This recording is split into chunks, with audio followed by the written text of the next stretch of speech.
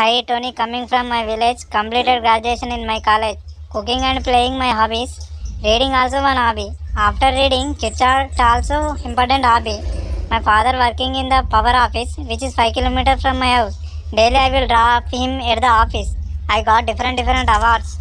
I am interested in FB, Insta, Twitter. I daily updated with the social apps. My big achievement is I got thousand likes for my photo, which was posted on Insta.